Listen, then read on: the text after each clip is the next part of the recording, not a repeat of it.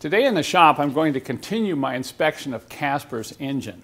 This is really important, particularly if you have the OM 617 turbo diesel engine. You know, this is that old famous Mercedes diesel engine. But there are some problems and they're related to the right side of the engine. And the only way you can inspect that area is to remove the air filter housing. This is typical of the air filter housings that were mounted on the engine from 1978 to 1984 in the US market.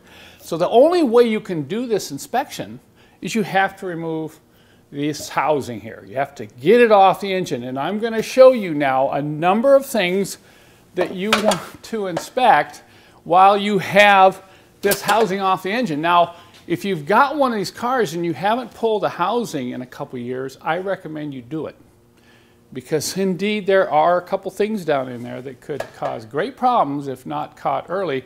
And I'm going to demonstrate that in this video. So now that I've got that off, let's go in with the camera right down in here and I'm going to start pointing out the things you want to take a really close look at if you have one of these engines. From my experience working around these older OM617 turbo diesel engines over the last 20 years, I found there are two things that will destroy the engine.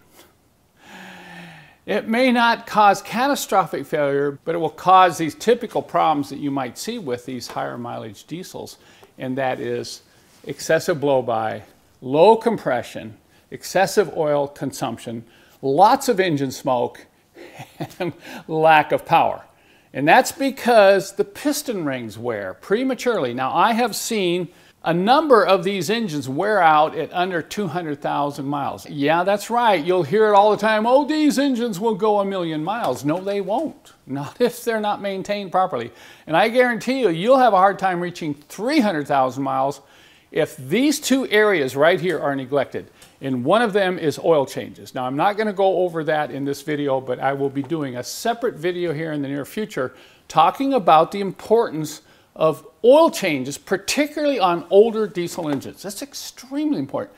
The other thing is air leaks, air intake leaks in the system, which will allow dirt and dust to get into the combustion chambers. Now, any dirt or dust that gets in there is going to get on the cylinder walls, and that up and down motion at very high speed is going to wear the rings and score the cylinder walls. I, I tell you, you you might think, oh, he's making too big a deal out of this. I've opened up enough of these diesel engines where the whole engine is in pretty good condition except the cylinder walls and the piston rings. Once again, I'm going to show that in detail in a future video. So you need to make very sure that you're doing religious oil changes on these engines and you also need to make sure that there are no air leaks in and around the air filter housing and this part right here. Now you may think, well, I've got a brand new filter, so I'm not going to have any problem. Not so. you can't believe how many air filter housings I've pulled off these engines only to find that the two seals, particularly one seal, this is a top seal, has been pushed back and the clamp was tightened down and guess what? There is no protection. There is no seal.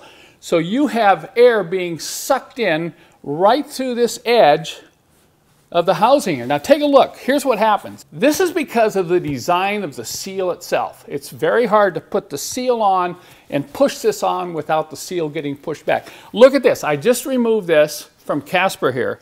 And look at how the seal on the bottom has been pushed back. Once again, I would say in more than 70% of the elbows that I pull off these engines, this top seal has been pushed back. And the bottom seal, because of the heat from the turbo, gets really hard. It gets super hard, and I'm going to show you that here in a second. And it won't seal either. So because of the compressor of the turbocharger, it's sucking a lot of air. And with the restriction of the air filter, if there's any leaks in and around this elbow, guess what? Unfiltered air is getting sucked right into the turbocharger and it's going right into the intake manifold and into the combustion chambers. So this is something right here that a lot of people don't realize how important this is. And you need to look at this.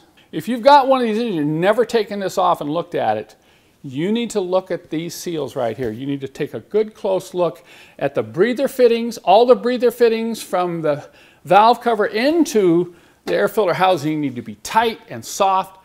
And if not, you need to fix this. Don't drive the car until this is fixed. Now this is a very poor design, this lip right here, and I have a video on my website which will show you how to modify this intake elbow so that when you take the air filter housing on and off and this clamp this down, you are not going to push this top seal back. Now we have brand new seals on my website and I'm going to show you now just how bad that seal is where it connects to the turbo inlet. Take a look at this lower seal. This is the one that clamps onto the compressor housing inlet. Most of the time this seal will come right off when you pull the intake elbow off, but look, it's frozen. It's literally stuck. It's so hard you can't even indent it when you push on it with a fingernail. So I'm going to have to take a, a pry tool and let's see if we can slide this, this off. Know, there, there it comes.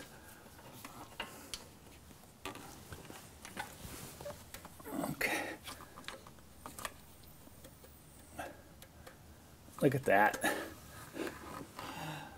There it is. Look at how hard that is. Maybe if I squeeze it, it'll just break. Yeah, see that? And that once again illustrates what I was talking about earlier in this series, the importance of plastic and rubber parts needing to be replaced after 25 years. So let me show you what these new seals look like.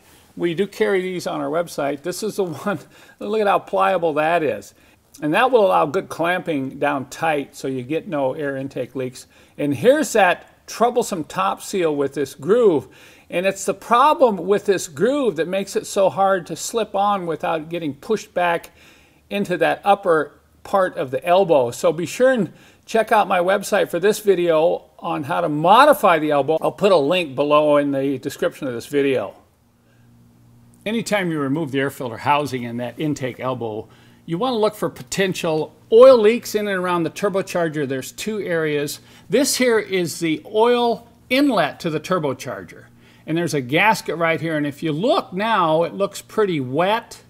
Uh, it's just starting to leak. Now, you can get a wrench on these, make sure these two bolts are tight. And I've already done that and they're tight. So I'm going to need to replace this gasket. If you look down below here, right down in here, you can see the wetness and particularly the oil wetness on the motor mount. The rubber motor mount is now deteriorated due to this minor oil leak. The other area is this tube coming out. This is the oil outlet tube from the turbocharger. Goes right into the pan and it has a couple seals and those will harden. This will start to leak. Usually you get dripping oil in that uh, right front corner of the pan. So this is okay. This looks good, but I've got a little leak here I've got to attend to. If you don't attend to these leaks when they just start seeping, they'll become much larger leaks. Once again, an example of what happens with uh, gaskets over time, as well as rubber and plastic. You have paper gaskets that harden with age and they lose their seals. So we're going to do that now and then we should have a really nice clean engine. Doesn't look like there's any oil leaks up around the front crank seal. So I'm pretty happy with what I'm finding here. But this will give you a good example on a very old car. Even if it's been quote unquote well maintained or maintained by a dealer, a lot of times you'll find little things like this that have been missed.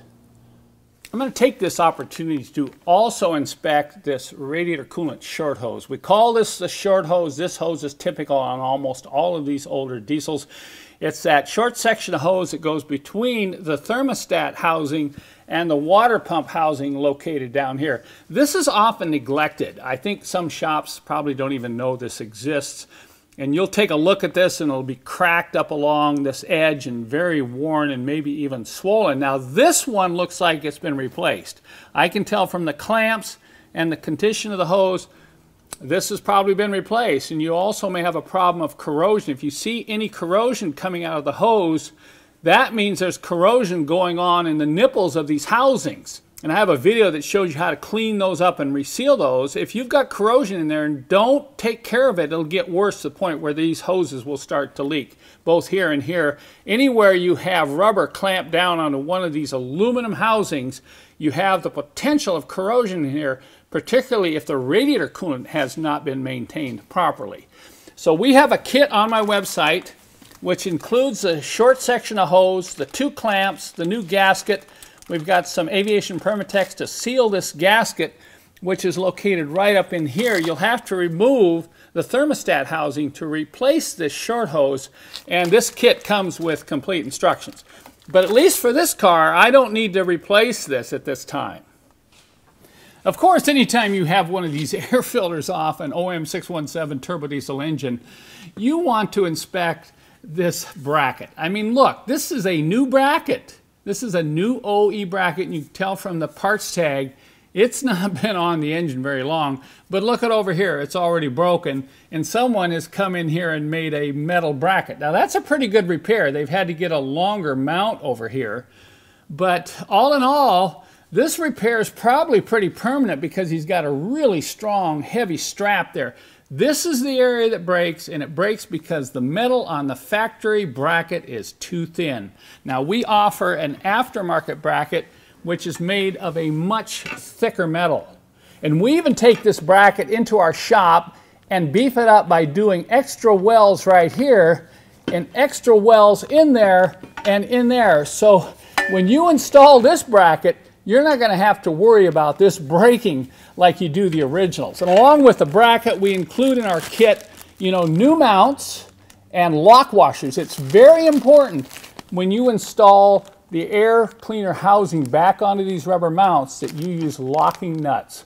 Because if they don't, you'll start to get vibration and these will loosen up and then it will elongate the holes, just like you see here in the air filter housing. If you get elongated holes, you're going to have to use washers when you tighten it back down onto these rubber mounts. I thought this one was in pretty good shape, but I just grabbed it and it just broke right off. So when you do have the air filter housing off, just take a hold of these rubber shock mounts and wiggle them. This one is getting pretty weak too, but this one, look at that, it just broke right off, and that's very typical.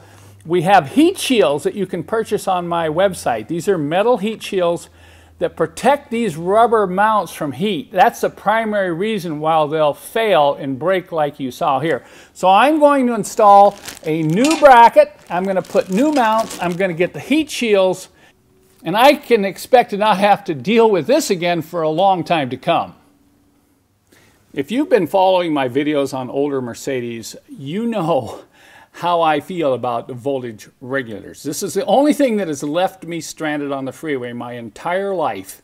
And I'm going to inspect this car before I drive it any further because you don't know when these are going to fail. You might get a little indication as it starts to lose contact with the commutator and you'll get intermittent electrical problems like slow moving wipers and uh, weak radio and all of a sudden if you have a gas car, the engine will quit. If you have a diesel, you can keep driving, but the next time you go to try to start it, the battery will be dead. So I'm going to take the voltage regulator off. It's located right on the back of the alternator here, and I'm going to inspect it. Now it's held on by two screws. Normally I would go from underneath the car to get to this, but since I already have the air filter housing and the intake elbow on this turbo diesel removed, I can use a right angle ratcheting screwdriver like this and I'm going to go down and remove these two screws and we're going to see what this looks like. It never ceases to amaze me. More than half the times I remove one of these, it's, it's worn out. Let's see what Casper's looks like here, okay? Oh boy, look at that. Another one. Here is another one where the brushes are worn down to where very soon they will not be making contact and you'll lose all charging to the battery. Now here's what a new one looks like. So you can kind of compare as you see the brushes on a new one in comparison to the worn one. You know, if you pull this out and the brushes maybe are, you know, at least half, I would say just save it and put it in the trunk for a spare. But this one I'm not even going to save. I'm going to install this new voltage regulator and I can have peace of mind probably for at least the next 10 years. So we have these available on my website, high quality Monarch voltage regulators still made in Germany. And they come with instructions on how to install these so you do not damage the brushes. So Casper is going to get a new voltage regulator today. Well, you can see I have my work cut out for me this morning. But other than those motor mounts, now I'm going to have to replace the motor mounts. I kind of knew that when I bought the car because I could feel the vibration, particularly on engine shutdown. But I'm not going to worry about motor mounts now. We're going to do those on the lift, and I'll shoot a video when we get around to that job. But I do want to do a, a valve adjustment. Now is a good time to do it since I've kind of got the air filter off and I've got a little more room to work. So we'll probably do the valve adjustment here either tomorrow or later in the week. So these jobs I've shown you though this morning aren't going to take very long. By noon I'll have this all wrapped up. And just keep in mind, these are great DIY jobs. If you haven't worked on a car before and you have one of these old diesels, you might want to give some of these a try. One thing is, you're going to save a lot of money and you're also going to know that the job gets done right.